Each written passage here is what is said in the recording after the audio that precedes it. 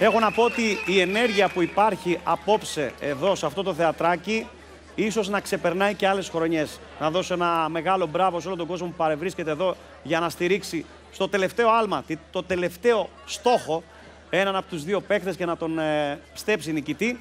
Παρ' όλα αυτά, έχει περάσει πολύς καιρός. Πλέον είμαστε εδώ, ο κόσμος είναι υπέροχος, η ενέργεια είναι καταπληκτική, κάθεστε σε δύο σκαμπό, ίδια ακριβώς με αυτά που είχαμε στα συμβούλια και βρισκόμαστε στο Γαλάτσι. Κάτι το οποίο συζητούσαμε αρκετό καιρό στο νησί. Πλέον είστε εδώ. Πριν όμως αρκετούς μήνες, πάνω από 6 μήνες, χτύπησε ένα τηλέφωνο από τα γραφεία της παραγωγής. Και έγινε για το Survivor All Star. Θέλω να μου πεις πώς ένιωσες εκείνη τη στιγμή, Σάκη Κατσούλη, τι πέρασε από το μυαλό σου; Όπως είπα και χθες, ε, κάποια πράγματα δεν αλλάζουν. Εννοείται ένα, ήταν ένα τηλέφωνο που προξένησε νομίζω άγχος σε όλους μας όσους είχαμε συμμετάσχει, καθώς είναι ένα παιχνίδι επιβίωσης, αδιαφυσβήτητα, ένα πολύ δύσκολο παιχνίδι επιβίωσης. Ξέρεις ότι πας και πάλι στην απομόνωση, μακριά από την επικοινωνία, μακριά από τα αγαπημένα σου πρόσωπα, την οικογένειά σου. Ε, μου έφερε λίγο άγχος, ε, πολλή σκέψη. Ε, συζήτηση με τη Μαριαλίνα σίγουρα, γιατί ήμασταν και οι δύο μαζί ξανά σε αυτό. Ε, και μετά από όρημη σκέψη, αυτό που ήρθε πολύ γρήγορα στο κινητό μου ήταν μηνύματα του κόσμου, μιας και είχε μαθευτεί ότι θα γίνει το Survivor All Star. Οι οποίοι οι ίδιοι άνθρωποι που με στήριξαν και με έκαναν νικητής για το Survivor 2021, οι ίδιοι άνθρωποι θέλαν να με ξαναδούν στις οθόνες. Κάτι το οποίο δεν θα μπορούσε να με αφήσει να πω όχι.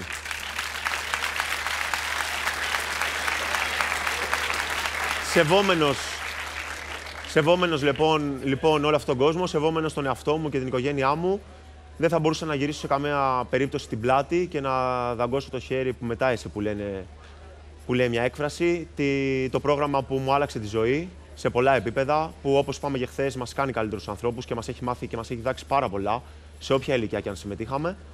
Οπότε πήρα τη μεγάλη απόφαση, με μεγάλο ρίσκο όπως είπα και χθες, μιας και ήμουν νικητής του 21 και εμπεριέχει μεγάλο ρίσκο, να ξαναπάρω μέρος και να βρίσκομαι στο Survivor All Star και σήμερα σε αυτό το σκαμπό. Εσύ Νίκο, θέλω αρχικά να μου πεις πού σε βρήκε αυτό το τηλέφωνο και ποια ήταν η πρώτη σου σκέψη, γιατί ξέρω ότι δεν τα φιλτράρεις καθόλου αυτά, θα το πεις κανονικά. Γιώργο, το πρώτο τηλέφωνο με βρήκε στη δουλειά. Ε, με ρώτησαν αν έχω χρόνο να ανέβω πάνω. Δεν μου είπαν γιατί. Λέω θα είναι για καφέ. Ε, στη συνέχεια δεν μπόρεσα να ανέβω πάνω γιατί ήταν καλοκαίρι. Ε, είχαμε μία κουβέντα. Μου ήρθε η πρόταση για το Survivor All Star. Η αλήθεια είναι δεν απάντησα με τη μία. Έσκασε κεραμίδα. Μου έσκασε κεραμίδα γιατί λέω να ξαναπεράσει τώρα όλο αυτό. Είναι πολύ ψυχοθόρο. Δεν είναι...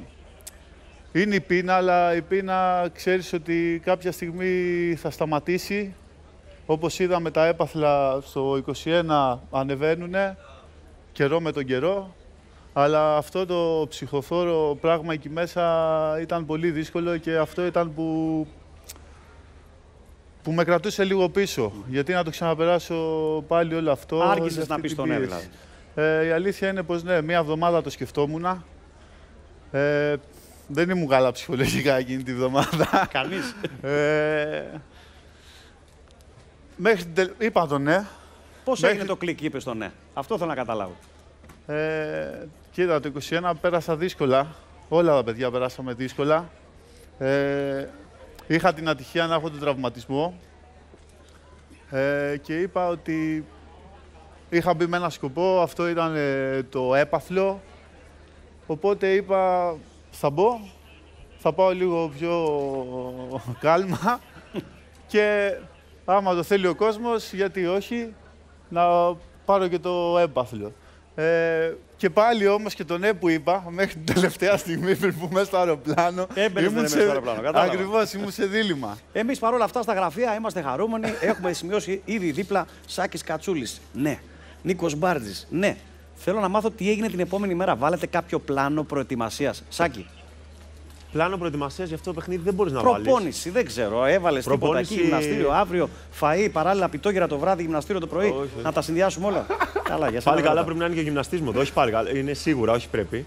Ε, δεν έχω σταματήσει ποτέ. Η γυμναστική είναι μέρος της ζωής μου. Οπότε δεν μου άλλαξε κάτι το τηλεφώνημα όσον αφορά τον τρόπο ζωής που είχα.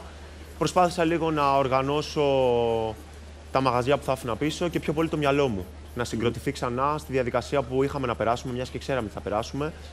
Ε, να αποχαιρετήσω τους δικούς μου ανθρώπους και είπα χθες ότι μία από τις δύο εικόνες, βασικά είπα στη συνάντηση με τους γονείς, που μου είχε μείνει έντονα ήταν το τελευταίο βράδυ πριν πετάξουμε, που βρέθηκα με τους γονείς μου, την αδερφή μου και τις τρεις ανιψιές μου και κλαίγαμε.